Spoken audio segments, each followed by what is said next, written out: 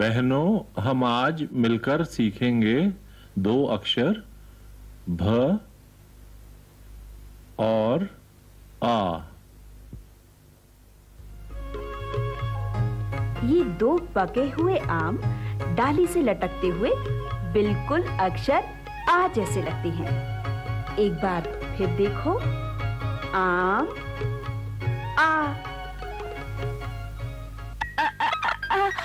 अच्छी। ओ, बड़े ज़ोर की चीख आ गई थी। खैर सुनो आज मैं एक खट्टे मीठे फल के नाम का पहला अक्षर लेकर आई हूँ।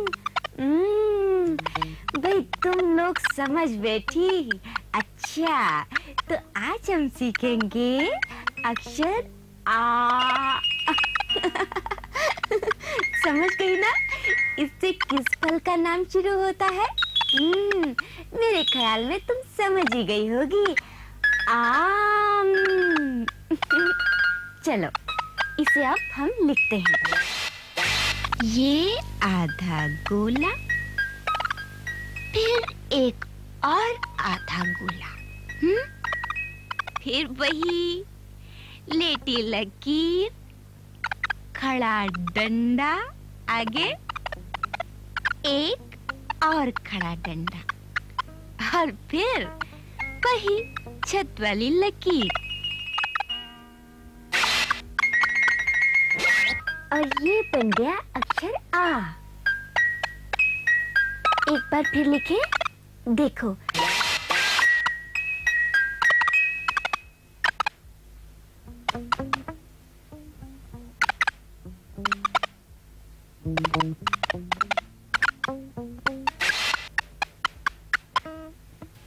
आँख भगवान का कितना बड़ा वरदान है।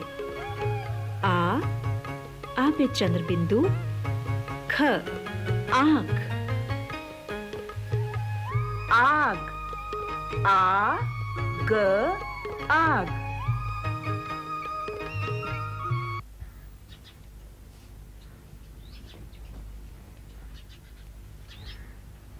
क्यों रे? ये सामान क्यों बाँध रहा है? कहाँ जा रहा है? कहीं लाम पे जा रहा है क्या? ऐसा ही समझ ले। जीवन भी तो एक तरह की लड़ाई हो है? अरे सीधे से क्यों नहीं कहता कि कमला के पास जा रहा है? और वहाँ जाने के लिए तुझे सामान की क्या ज़रूरत है? शाम तक लौट आना उसे लेके? कुछ दिनों के लिए जा रहा हूँ मैं वहाँ। उसका अपना तो ठौर ठिकाना है कोई ना जो तू घर जमाई बन जाता। निर्लज कहीं का। अम्मा तू बेकार की बात तो करे मती। मैं वहाँ काम करने के लिए जा रहा हूँ। यहाँ क्या कोई काम की कमी है? अरे सीधे से कह कि उसके बगैर तेरा दिल नहीं लगता। बेसरम कहीं का। अम्मा तू चलते वक्त सफ़र तो खोटा करे मती। जरा मैं भी तो सुनू तू क्या काम करेगा वहाँ? कमला कारखाना लगा रही है वहाँ। पचास औरतें काम करेंगी उसमें। क्या कहा तूने? कारखाना लगा रही है। अरे बड़ी कलेक्टर बन गई वो तो। अब वो पढ़ी लिखी है पढ़ना लिखना सब जाने हैं। पहले तो वो छोड़ गई अब तू भी छोड़ जा। जा जाके बैठ जा उसके पास। मैं क्या करूँगी यार? ठीक है भीख मांगूँगी भीख मांग के गुजारा करूँगी। इतनी ऊँची हो जाएगी तुम्हारी नाक। अम्मा फजूल की बात तो करे मती। हम गरीब ज़रूर हैं मगर मेहनत से कमाना जाने हैं।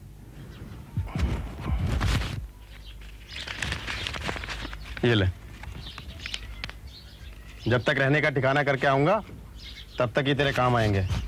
हाँ हाँ तेरी महारानी वहाँ आने देगी मुझे। अम्मा तू भी बस। ये रहा उसका खत। अगर खुद पढ़ना नहीं आवे ना तो जाके किसे पढ़वा ले। उसने सबसे पहले यही लिखा है कि ठिकाना होते ही मैं अम्मा को खुद लेने चली आऊँगी।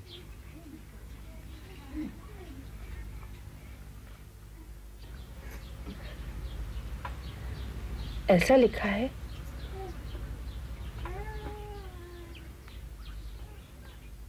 माँ अक्षर पहचानती हो ना? इसकी छत वाली लकीर आधी काटकर आगे लाए और मोड़कर गोला बनाया बन गया भा। ये है माँ इसकी छत वाली लकीर आधी काट कर आगे लाए और मोड़कर छोटा सा गोला बनाया। बन गया भ मेरी प्यारी बहनों, आज मैं तुम्हारे लिए लेकर आई हूँ अक्षर भ। अक्षर भ लिखना बिल्कुल भी मुश्किल नहीं, बड़ा आसान है। बस वही अपनी पुरानी तरकीब। लिखे? चलो। सबसे पहले बनाया हमने ये छोटा सा गोला और फिर खींची ये सीधी लकीर उससे मिलाकर ये एक बिंदी बनाई। इस बिंदी से मिलाकर ये लेटी हुई लकीर खींची।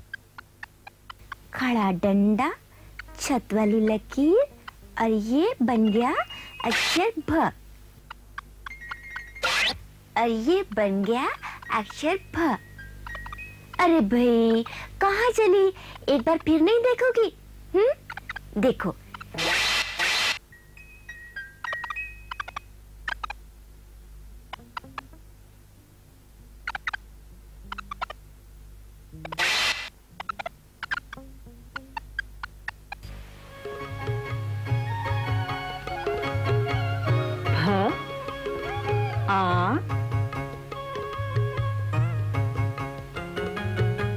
ड़ भाड़.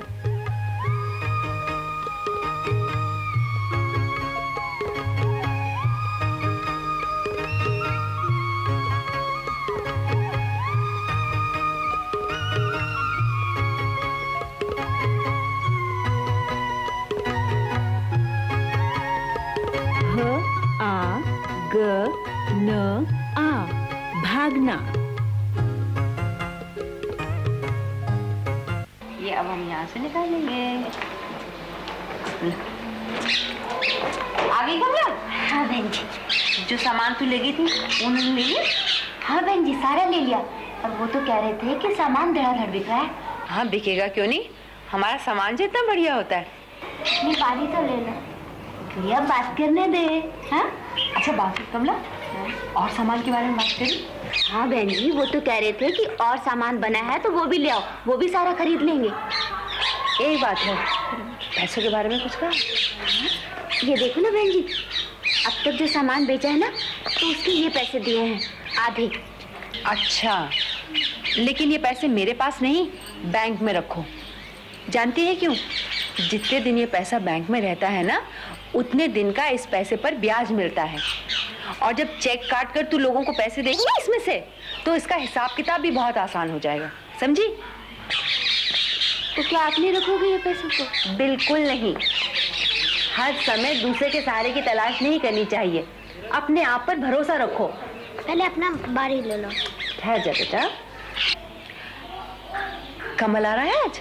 चिट्ठी में तो यही लिखा था। शायद आज आ जाए। ये तो बहुत अच्छा रहेगा। जल्दी क्यों पूछ रही हूँ? तुम लोगों का अलग मकान का प्रबंध हो गया है।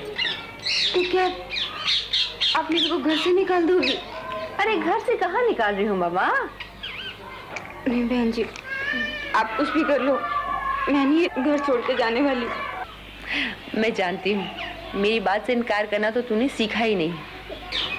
लेकिन चल उठ। बहुत आराम हो चुका। अगर कमल आ रहा है तो घर की जरा झाड़ पोछ कर ले और एक दो खाने की अच्छी चीज़ें भी बना लेना। उठ उठ जा, चल। शाबाश। हाँ जी, लाओ। क्या खेलना? मेरी बारी है ना? देख। ये ये है अपना देश भारत। भ, आ, र, त। भारत। 200 साल अंग्रेज़ों की गुलामी के बाद कई नेताओं की कुर्बानियों से हमें आज़ादी मिली। आ, ज, आ, द, ई, आज़ादी।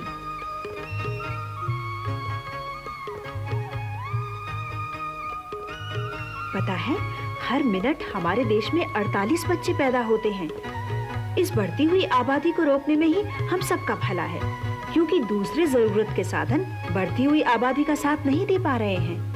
आ, ब, आ, द, ई, आबादी। आबादी। अरे कमला। तूने तो कमाल ही कर दिया। इतना बड़ा कारखाना लगा लिया।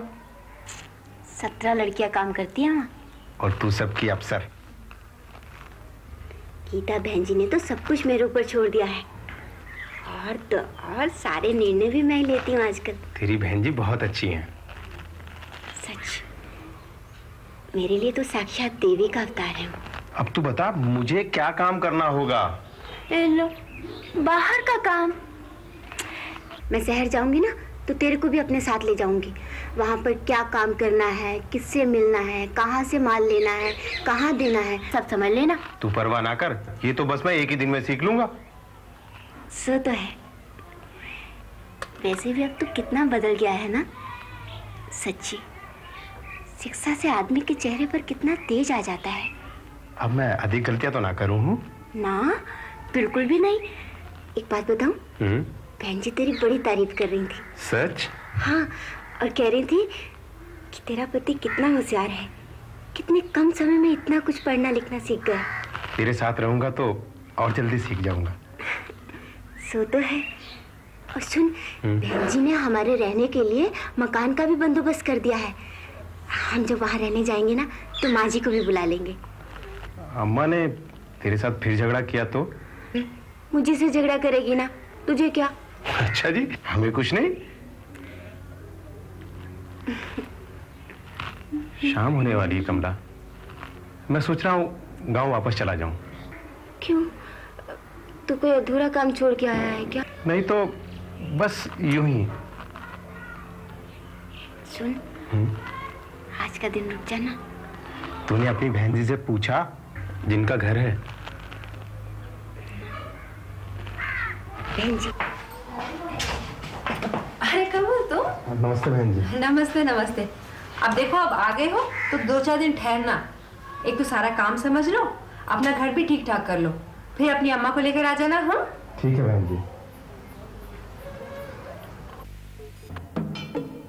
आ ग आग। आ म आम। आ। चंद्र बिंदु ख आग। भ। आ का डंडा। ड़ भाड़। भा। ए की मात्रा। ड़ भेड़। भ। आ का डंडा। र। भारत, भारत।